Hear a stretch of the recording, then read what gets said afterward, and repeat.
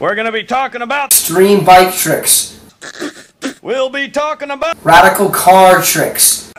Do you think that's funny, butthead? Do you find it amusing that we'll be talking about? Deodorant reviews. Yes, we're also gonna be talking about. Kill Gus. Frosties! Violent outbursts against everybody. Rotten pork. And. And we will definitely be spending a lot of time talking about. Colorado Bush monster.